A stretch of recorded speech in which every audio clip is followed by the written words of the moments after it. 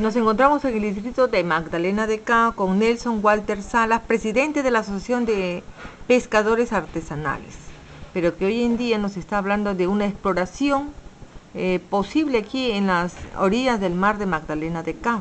La empresa Sabia Perú ha venido a conversar con él para proponerle si estaban de acuerdo. ¿Qué nos hablas acerca de esto, señor Nelson Walter? Claro, o sea, la, em- los consultores de Wash Perú han venido a, hacernos una entrevista nosotros los pescadores para ver este que ya este, la empresa Sabia Perú va a hacer una exploración en el mar para, para ver para hacer una exploración para analizar el petróleo que hay dentro del mar ¿no?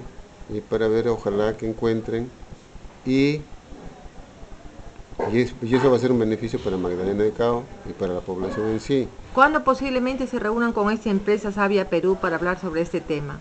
O sea, Sabia Perú nos han dicho que nos van a invitar para el mes de enero, ¿no? que va a haber un taller, posiblemente sea en Magdalena o en Puerto Chicama, no sé dónde, pero nos van a invitar para que nos informen más acerca de la, de la exploración.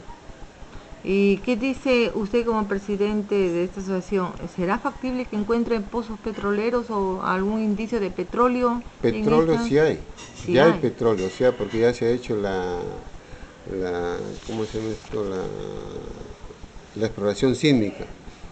Se ha hecho la exploración ¿Y qué resultado ha habido de eso? Y los resultados dicen que sí hay petróleo, pero no se sabe en qué escala. O sea, el petróleo tampoco no se sabe si es bueno o es malo o o sea, hay petróleo en cantidad.